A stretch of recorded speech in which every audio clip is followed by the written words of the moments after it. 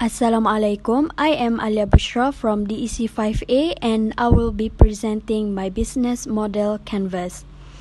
First of all, I have been doing a business based on fried and frozen food, which is Popia Carbonara.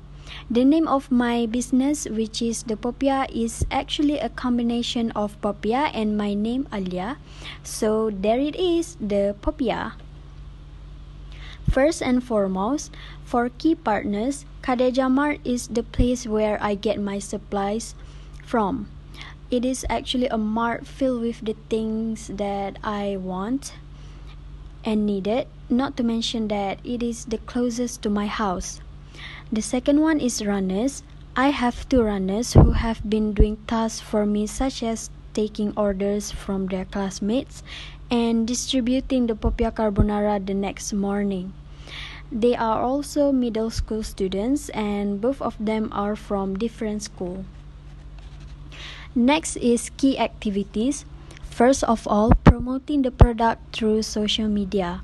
I have created an Instagram account, Facebook page and a website for the promotion activities also face-to-face promotion where I distribute free popia carbonara to my neighbors and friends. In fact, they become my loyal customers. Next, buying supplies weekly. I also have I also did a cash on delivery system where I will personally uh, deliver my popia carbonara to my customers. Uh, within Kuala Besut, there will be no charge, but the area outside of Besut, I will charge for minimum 2 ringgit. Then collect feedback from customers. Next is value proposition. Frozen type of food. It is very convenient as customers can buy the popia and fry it themselves at home. Next, uh, cash on delivery and then homemade. For customer seg- segment, I have customers from Sekolah Kebangsaan Alor Peroi and Sekolah Kebangsaan Kuala Besut. Then neighbors and friends, which are my loyal customers. Internet users and people in the proximity of Besut.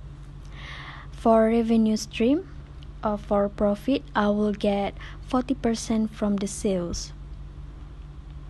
Distribution channel, which is through WhatsApp story, Instagram post, Facebook post, and website.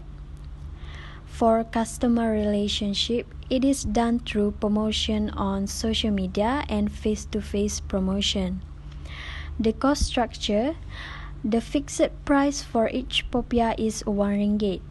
The ingredient or supplies is 200 ringgit plus and for the runner's commission, they will get 30 30% of the sales. Lastly, the key resources which is frozen type of food, cash on delivery and homemade. That is all from me. Thank you.